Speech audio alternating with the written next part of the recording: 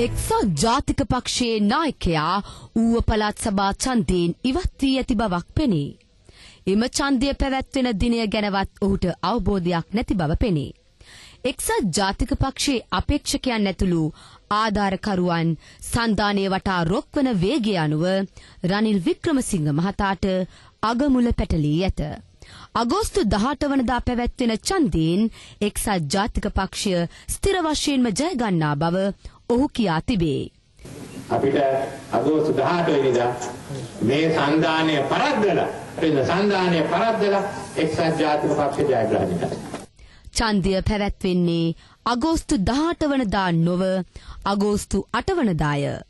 වික්‍රමසිංහ මහතා කියන පරිදි අගෝස්තු 18 වනදා ඡන්දෙන් එක්සත් ජාතික පක්ෂය ජය ගන්නා අතර අගෝස්තු අටවනදා පැවැත්වෙන චන්තයෙන් එක්සත් ජනතා නිදහස් සන්ධානය අතිවිශිෂ්ට ජයක් ගන්නවා ඇත.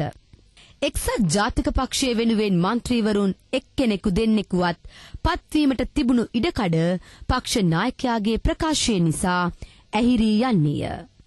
ඒ වික්‍රමසිංහ මහතාගේ ඉල්ලීම අනුව ඔවුන් චන්දපුලට යන්නේ අගෝස්තු 18 වනදා බැවිනි.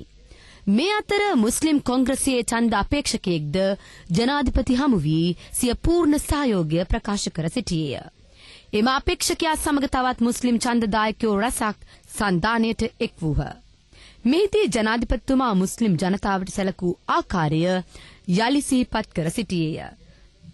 දේශීය පමණක් නොව ජාත්‍යන්තර වශයෙන්ද ශ්‍රී ලංකා ආණ්ඩුවත් ශ්‍රී ලංකාවේ රාජ්‍ය නායකයාත් මුස්ලිම් ජනතාව සහ මුස්ලිම් රාජ්‍යයන් සමග පවත්වාගෙන යන්නේ ලෙන්ගතු සම්බන්ධතාවකි.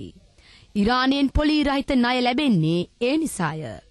ලිබියාව අපට උදව් කරන්නට හැම විටම ඉදිරිපත් වන්නේද රාජ්‍ය නායකයාගේ උත්තුංග ප්‍රතිපත්ති නිසාය.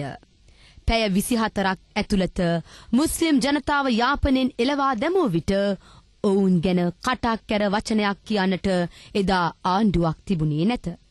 මුස්ලිම් නායකයෙකු සිටියේද නැත.